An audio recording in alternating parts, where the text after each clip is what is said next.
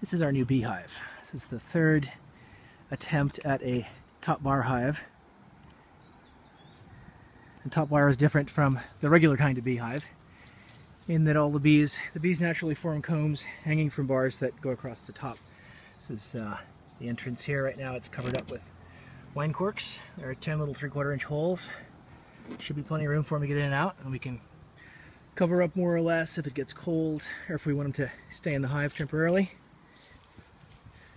And the top comes off and then the side hinges open as well. Let's get the top off here. There we go. So that's the top. And underneath the top is a regular top bar hive.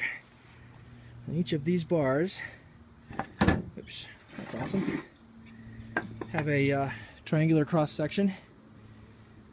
And the honeycomb hangs down, theoretically, when the bees build honeycomb.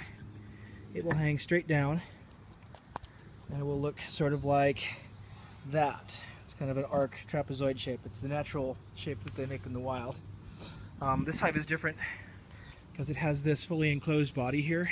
Uh, in the past I've put them, I've made trough shaped things that have been up on legs and they have not done well in the winter. Both times they've sort of frozen out. We've had um, just like a couple of weeks of, of low temperature and it's killed them both years. So this year I made something with kind of an enclosed body to it and there's a lot of a lot of extra room in here. You can open this guy up. You can see how much room's inside. Go. So inside here, you can see the, the hive body.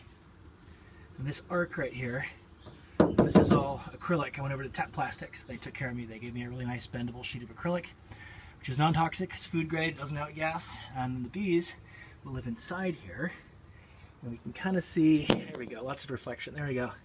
You can see the bottom side of the top bar, and each of these bars will have a comb hanging down from it, and the narrow, lighter ones in the middle there will be the brood comb, and that's where they, they raise their young, and the fatter ones in the back will be uh, hopefully full of honey. And you get about nine pounds of honey uh, per bar. And then you can see there's, there's uh, some aluminum sheeting in the back there, so we don't get a lot of uh, water in and out. And then on the bottom, I have a webcam.